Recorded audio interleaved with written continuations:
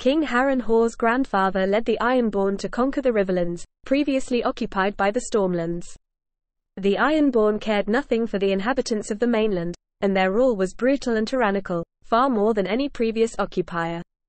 To consolidate their hold on the Riverlands, Harren's grandfather commissioned construction of a great fortress on the northern shore of the God's Eye Lake, in the very heart of the region. The largest and greatest fortress ever built in Westeros, it took three generations to finish. The Ironborn broke the backs of the rivermen in forced labor to complete an instrument for their own domination. It is rumored that Harren mixed blood in the mortar. The great castle was finally finished in King Harren's time, and he arrogantly named it Harrenhal, after himself. On the very same day that the last brick was laid, however, Aegon Targaryen and his sisters landed with their army from Dragonstone at the mouth of the Blackwater River, along with their three dragons, beginning the War of Conquest.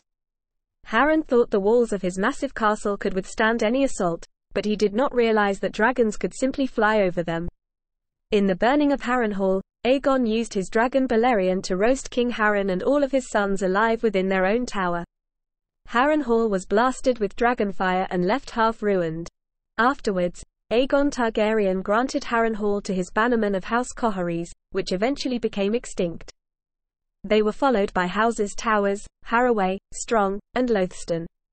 All of them, like the Hoares and Qoherys before them, died out, leading to the castle to be considered a cursed place. Several tales are told of Harrenhal, including the tale of Mad Lady Lothston, the flaming ghosts of Harren and his sons, and of servants who go to sleep and are found turned to ashes the following day. Harrenhal is seen as something of a white elephant, while it is technically the biggest castle in Westeros, it is so ridiculously large that the surrounding area cannot possibly produce the necessary food to support the massive army needed to fully man it. Rulers of Harrenhal usually lose money and resources simply by possessing it. As a result, Harrenhal is rarely if ever fully manned. Moreover, it was never fully repaired after being blasted with dragonfire by the Targaryens 300 years ago, which combined with the fact that the garrison is never as large as the fortifications require, means that Harrenhal really isn't one of the most defensively formidable castles in Westeros.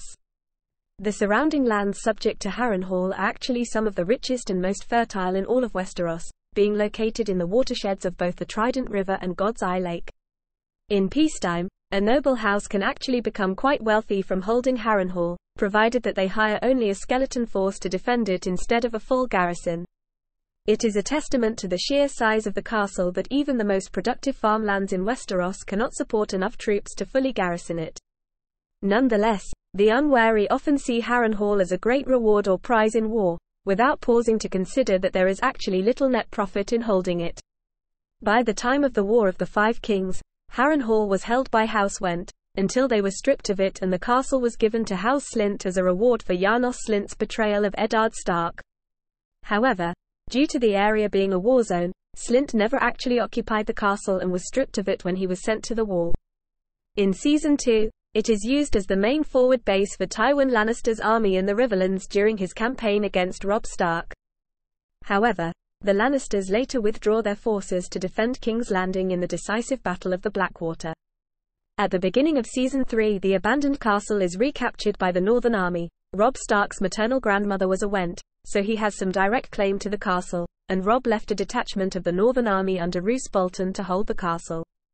After Bolton left to attend the wedding of Edmure Tully and Roslyn Frey, the castle is manned by his crony Locke. However in Season 4, Locke is seen at Bolton's side back in the north.